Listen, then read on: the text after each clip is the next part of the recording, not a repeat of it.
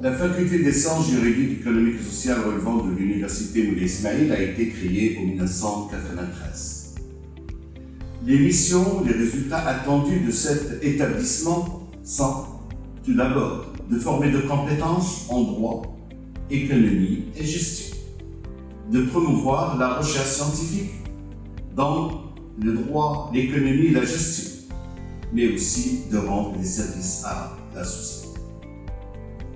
Nous offrons des euh, formations diplômantes, la licence fondamentale, la licence professionnelle, la licence professionnelle d'excellence, le master, master spécialisé, licence professionnelle temps aménagé, master temps aménagé, master spécialisé temps aménagé, en plus de la formation euh, continue. Il est important d'annoncer que le service informatique de notre établissement, formé de techniciens de qualité, des compétences, des ingénieurs, donc nous avons bien sûr un système d'information qui a pu accompagner une telle offre de formation.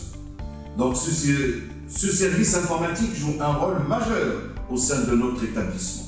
Non seulement dans la mise en place d'équipements informatiques numériques de qualité et professionnels, mais aussi la mise en place d'outils de pilotage, d'échange d'informations favorisant le travail pluridisciplinaire. Donc, il est important de souligner qu'on a plusieurs applications. D'abord, Tali, un logiciel de gestion de la scolarité, que ce soit au niveau de l'inscription, administrative, pédagogique, organisation des examens, des libérations normales, spéciales, et aussi l'administration électronique, la signature électronique et les statistiques. Nous avons établi une autre plateforme, et cette fois-ci réservée aux étudiants.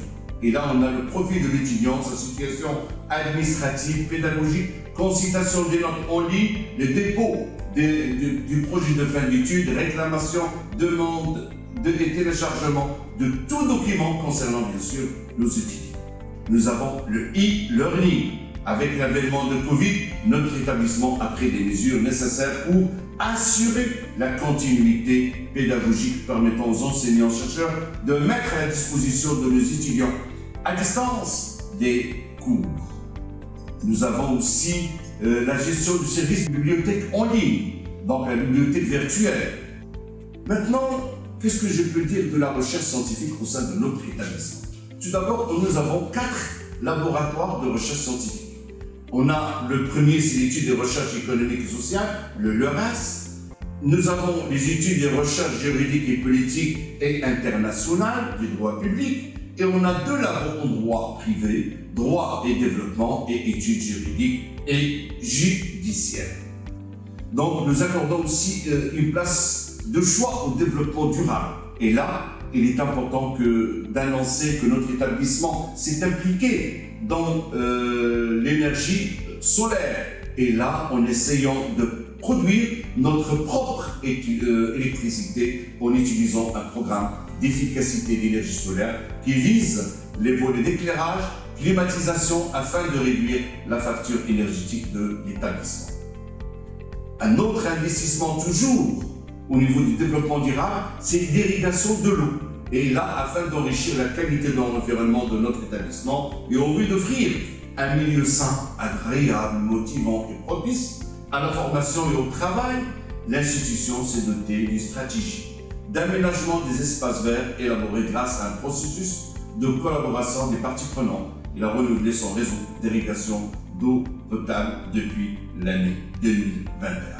Nous avons mis aussi en place d'autres euh, clubs, d'autres services au service de la société, la clinique juridique, qui est bien sûr, qui a un rôle d'un prestataire de service auprès de son environnement externe. Donc là, bien sûr, l'objectif euh, visé, c'est des consultations juridiques gratuites au plus euh, démunis et au profit de tous les citoyens de notre région. Il y a l'Observatoire universitaire régional de développement humain, Lourdes, qui a pour objectif de mettre en place des informations, des statistiques concernant bien sûr le développement humain dans notre région.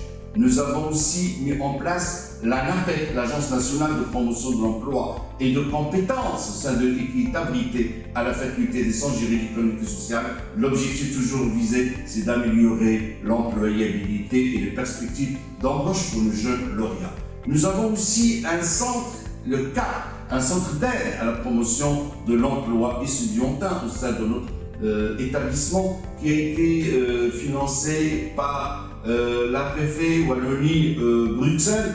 Toujours l'objectif aidé, c'est d'abord d'assurer une sensibilisation au profit de nos étudiants pour une meilleure insertion dans la vie active et on a donc des séminaires qui sont dispensés par des experts internationaux, nationaux et en particulier belges au profit de nos étudiants pour faciliter l'insertion de nos jeunes diplômés dans la vie active. Et on a enfin 1000 HDK aussi, qui est un programme de soutien à l'entrepreneuriat féminin mis en place par la PEF et bien sûr qui est financé par la coopération belge au développement.